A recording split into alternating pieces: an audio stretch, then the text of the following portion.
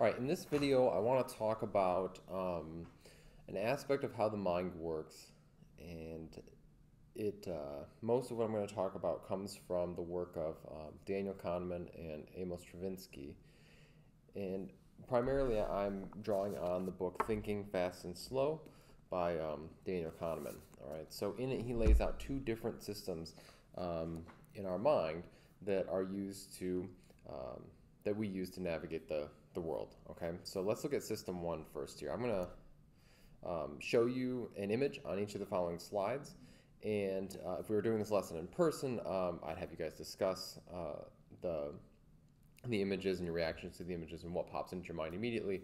For the video, I'm just to show you the image and then take a couple seconds, see what your initial reaction is, and then uh, we'll go through a few of them, and then we'll talk about uh, system one thinking at the end. Okay, so here's the first image. Okay, this is Kevin from the office. Obviously, he doesn't want um, broccoli. You can probably see that right away without even thinking about it. This next one.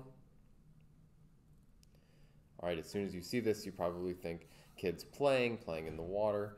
Um, they're probably enjoying themselves, having fun.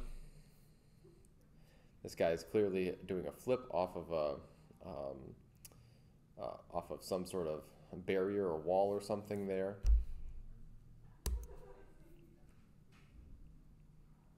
You probably solved this math problem without even thinking about it.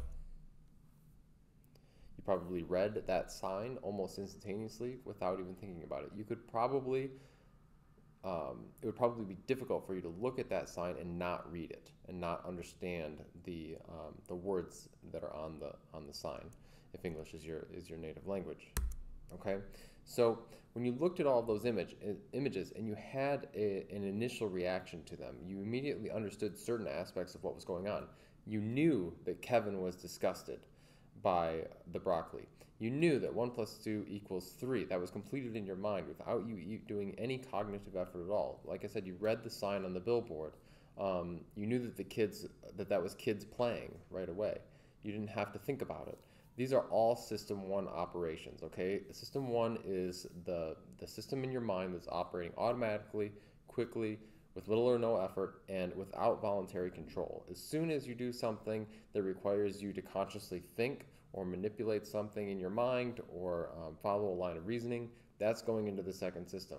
But in system one, it's operating quickly, automatically, you're not even thinking about it, okay? Things like orienting yourself towards a sound. So you hear a sound, you turn and look. That required, again, no conscious thinking on your part. Detecting hostility in a voice. So the example that I like to use, is if you walk into a room and you instantly know that, that the people or in the room were talking about you, or you suspect that they were talking about you. Um, reading large words on billboards, simple math equations, um, figuring out whether an object is close or far away. You do that um, without again without even thinking about it. I can tell that the chair right in front of me is closer than the chair across the room.